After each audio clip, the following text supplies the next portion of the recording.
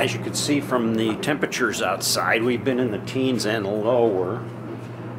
Um, I think one day last week it was one degree in the morning, so that was plenty cold. Uh, question is, how do you how do you stay warm in this kind of weather? How do you heat? Well, as you can see, we heat with the wood burner, and that is our main source of heat that we use. Now we also have this little supplemental oil heater. It is a uh, simple little thing, and it you're not supposed to touch it, but it. I mean it. It doesn't get super hot, but it puts out enough heat that if the temperature outside is in the 40s or 50s, that thing will keep the house comfortable. But anything below that, this is our source of heat. This is a buck stove. You can hear the fan running. It blows out air here, here, under here, and underneath here. It blows out hot air. So all around it's blowing out a lot of hot air. It's got a little switch here. You can turn the fan down this is the intake where it draws air in and then it, it blows it out. So there's an intake on both sides. Now this is a pretty good sized stove. So I can fit nice big chunks of wood in there. I like to call those all-nighters because the great big chunks will burn all night and I'll still have hot coals in there come morning. Uh, kind of keeps the temperature eh, probably in the upper 50s in here in the morning when we get up, which is cold, but once you get this thing going, the house will heat up rather quickly. Give it about a half hour and it's it's pretty warm. Now, if we're active in the house, moving around, doing a lot of stuff, uh, we can actually be sweating and we'll close this down.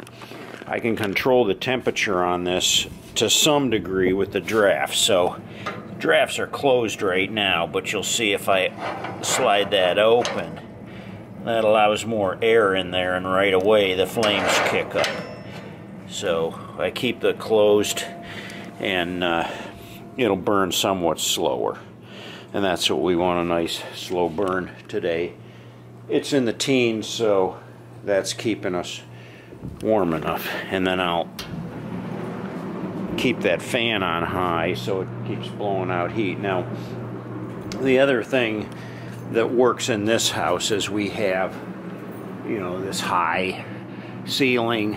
It goes up, I think, 16 foot, and we have a ceiling fan that keeps pushing the hot air down and circulating it through this entire great room area. So the bedrooms in the back are going to be just a little bit cooler, and that's fine. Uh, but everything out here we can keep fairly comfortable. Now, those aren't our only two sources of heat.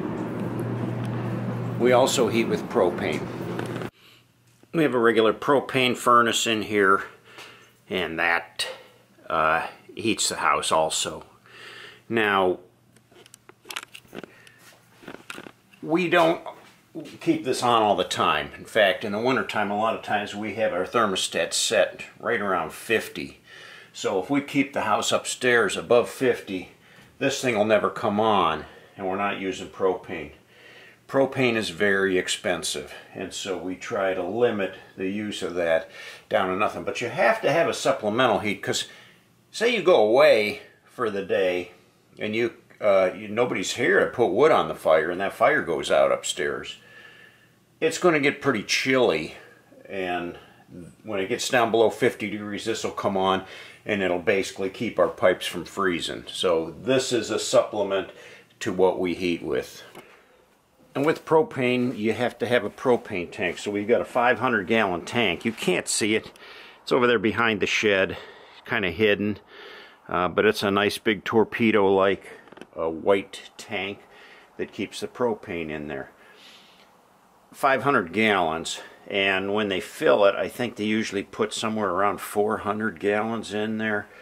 Uh, you can't fill it all the way to the top. You have to leave some air pressure in there to push the propane up to the house. Uh, but the guy will come and he has to come all the way up the driveway. He has to back all the way up there and drag a hose back behind the shed to refill a propane tank. And we have our setup on an automatic refill, so we don't have to call and order propane. Whenever he's in the area, he stops and tops off the tank. Uh, the problem with propane is that the like gasoline, that price fluctuates. There's different companies you can use to get propane out here. We don't have natural gas. We don't have the only other resource we could use for heat would be electric. And electric, as you know, is expensive too. So we got on with the propane and we're on a budget plan. They figure out how much propane you use all year round and then they break it down and, and you just do budget payments. Uh, but like I said, when you burn wood, you've got to have a wood supply and you've got to have it somewhere where it's easy to get to. So we keep ours on the front porch here. But as you can see, my pile is dwindling down. I've had burn, I've had it stacked up clear above this uh, handrail here twice already this winter and have used it all. Um, I have some of the logs left over there that I cut the tree down. And I'm probably going to have to cut some more trees down here really quick. Uh, the power company cut some trees across the street and they left the logs laying there in the neighbor's yard, a big pile of them. I can never catch the neighbors at home and it doesn't look like they use that wood at all. Uh, they're renters. I'm going to ask them if I can haul some of that wood over here or all of that wood over here and then I'll have a pretty good supply of firewood. So it's pretty cozy in here. Um, you can hear the fan blowing back there and that's pretty constant. Unless it's a warmer day we turn it on the low level where it's not so loud. Uh, but that's blowing out heat all the time and it, it does have I think three different speeds. The biggest problem with burning wood is it's dirty. You know, you you have the wood stacked up outside, uh, but you still got to carry it in the house. In this case, we got to carry it all the way through and load it in the stove. Whenever you open those doors on the stove, you're going to get ashes and stuff that come out. So you'll notice, you know, on the floor here, I've uh, I've got stone and tile all the way around there. So if anything were to tumble out of there, and it does, you'll have hot uh, coals, big chunks that sometimes that fall against the door. You'll open the door and they'll tumble right out onto the floor. So you don't want carpeting or anything around there. Now, if you're going to purchase a wood burner, uh, there's a lot of different options out there, and there are some that I would not recommend. Um, some of the uh, stores will will sell you these small wood burners, and they might be fine for show and maybe just taking the chill off of a small room. But the problem is they're not built to withstand high temperatures. Uh, this one is a very good high quality stove and you can get that thing very very very hot uh, in, in fact you get it too hot sometimes so make sure you're getting a good brand name stove when you do it. Now, this one I bought, it was reconditioned, so it was not brand new. Um, there was a shop in Millersburg, Ohio, and he sold wood burners, and he had a couple reconditioned ones, or, or ones that he had pulled out of somewhere else. Uh, sandblasted them down, repainted them with the heat-resistant paint. Um, had them all checked out and ready to go, and the thing was like brand new, so I got it for like half price but they can be very expensive. Uh, there's different options to burning. I guess some of them have pellets you can burn in. Um, this is straight up throw the wood in there and burn it. Got to be careful uh, what types of wood you have available to burn. Um, one of the worst woods that you could ever use is pine. Uh, it has a lot of pitch in it. It burns fast. Uh, it doesn't keep a hot coal. It, it's just a poor poor source of, of heat. Um, in our case, we have a lot of ash trees in the yard, as I've shown you before, and uh, sadly, they've all died from the uh, beetles that got into them. Uh, bad, bad blight that came off of Lake Michigan and worked its way all the way down through Ohio, killing all the ash trees. very few of them are still surviving, and those ones might be gone too in the future. But they are great for firewood because it's a hardwood and it, and it makes a nice hot coal. I loaded this thing up hours ago and, and I can still feel the heat on the back of my head coming off of this thing. So it's heating up our house very, very well. Um, the ash doesn't make a lot of creosote. Some woods, especially if they're wet, will sizzle and you'll get creosote. Now, let me talk about the chimney for a minute because you'll see our chimney goes up uh, 16 feet up and it goes right through the ceiling and right out through the roof.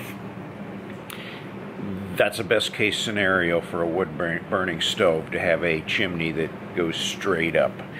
Um, a lot of times they'll have a kink where your chimney will will go up and then elbow out through a wall and go up. And what happens is, is a creosote that will fall down from the chimney will lay on that that elbow and it can cause a uh, pretty serious chimney fire. Um, when you do burn wood, uh, it's it's a good idea to clean your chimney you can buy those chimney cleaning kits relatively cheap. I think I saw one that was right around twenty dollars, and you might spend a little more for them. It's just like a huge wire brush. You do have to go up on the roof to do it. Uh, if you're not real agile, it's something you maybe you don't want to do. Uh, it can be pretty expensive to hire a chimney sweep, though, to clean your chimney, and it's something that should be done probably every year. Some people like to do it more often than not. But like I said, it means you have to go up on the roof. Uh, right now it's winter time. Uh, you can't really go up on our roof. it's all covered with snow. I don't know how you would get up there without breaking your neck. So it would be something I would do in the spring or the fall. Uh, but simply climb up. The wire brush has uh, extensions you can screw on and just keep pushing it down until you hit the bottom and all the ashes will come out into the stove uh, where you scrape them up with a bucket. That's the other thing we I have to do on a regular basis. About every other day, I have a bucket out on the porch, my ash bucket. So I have to bring it in, open the doors up when hopefully when there's not a lot of fire in there. I do it first thing in the morning when there's not a lot of coals and I can scoop out all of the loose ashes and get them out of there uh, and then start a new fire in there because the ashes will build, build up, build up to where when you open the door, they literally fall out of the door. And it, like I said, it makes a mess. So you get a lot of dust in your house, a lot of you know ash dust. Uh, it'll lay on everything with a film, so there's a lot of cleaning that has to be done to keep up with it. Uh, all in all, though, it makes a very enjoyable heat. It's dependable there's not much there to break down. I think I replaced the blower on this one one time, and this thing's been in here for, oh my gosh, probably 30 years I've had this wood burner. Now, prior to that, I had a different model, and uh, I bought it from a local store, a chain store, and it lasted for a couple years, but uh, it was compromised. Uh, somehow, up in the top, right, right where the chimney pipe reaches the top of the wood burner, uh, the creosote that was coming down the chimney, which is very corrosive, it it ate a hole in the top of the inside, which created more of a draft. So when the fan was on, the fan was actually feeding oxygen, and uh, the fire went up into the chimney and and this bottom part of the chimney here just got red hot. I mean, orange glowing red hot. My daughter happened to be home and she could hear the the ticking and the, she could smell the, the the smell of that hot metal and she came downstairs and she saw what was going on and she was kind of helpless as to what to do. Well, what happened was this part of the pipe got so hot that it actually compromised. It actually collapsed, and the whole thing fell out of the ceiling. This whole section came crashing down onto the floor here and caught the carpet on fire. It's a good thing she was home.